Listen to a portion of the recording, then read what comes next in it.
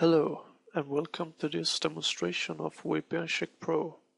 In this demonstration we will take a look at how to make a program close when VPN disconnects and how to make it start again once VPN is connected.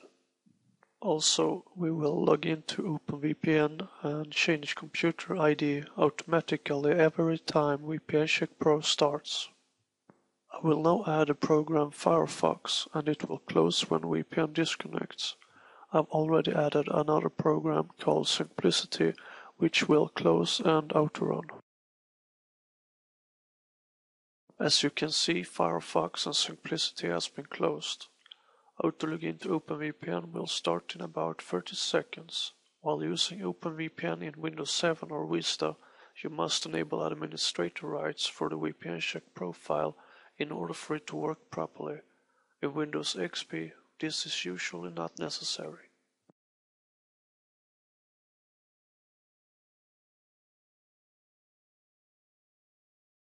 Simplicity started as it should, and we will now take a look at how to change computer ID.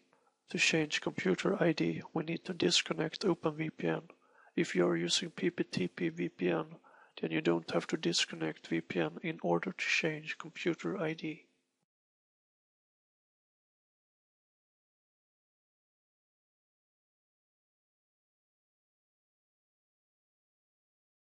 Now the computer ID has changed.